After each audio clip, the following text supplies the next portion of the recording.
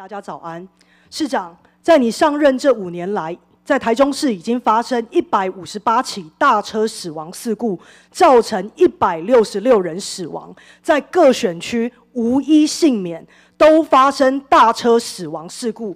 结果我看到你一整本专案报告里面，是否只用一句话形容九月二十二号公车撞死女大生？你说一死一伤。这一死一伤的背后，代表台中市长期忽略行人安全保障受到忽视，长期受到忽视。结果事发至今到现在，我没有看到你一句道歉，甚至前天十月七号女大生的告别式，你也没有出席。市长，我想问你，为什么你不亲自出席这位女大生的告别式？一百六十六条生命没有办法唤起你对行人安全保障宣誓的重视吗？请市长回答。报告议员，因为当天有议会，所以我前一天去了哈，我前一天有去呃这个呃慰问家属并且行礼，而且我之前也有去，所以因为就是因为当天没办法去，所以前一天去，谢谢。市长，你在四九月二十四号，你甚至有提到五项行动。我们集体呼吁，告诉你，你这五项行动，你要重罚客运业者一百二十万元，并没有办法达到惩戒的效果。其中，你还说要针对全市二十大易肇事路口重新检视。市长，我们要提醒你，这次的肇事路口绿川东街中山路。就不是在易肇事路口，却也发生死亡事故，所以你提出的这五项行动，并没有办法解决行人被大车造成威胁的结果。你上任这五年多来，交通局长都是同一位叶昭甫，事故频繁的发生，一百六十六条生命的消逝，台中市冠上了行人地狱，情况持续恶恶化，一百一十一年以来。台中市的公车跟行人事故高达二十四件，其中三件是行人死亡，整体是数据都在恶化当中。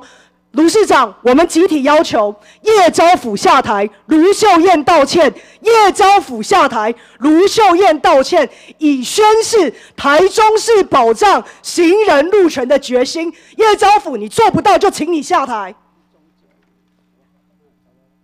请回答。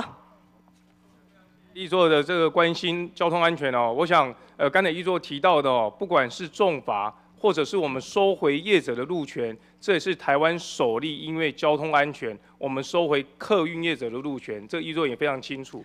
这代表就这个部分，我们集体告诉你，就我们的了解，客运业者现在要经营市府的路线，都已经实为不容易。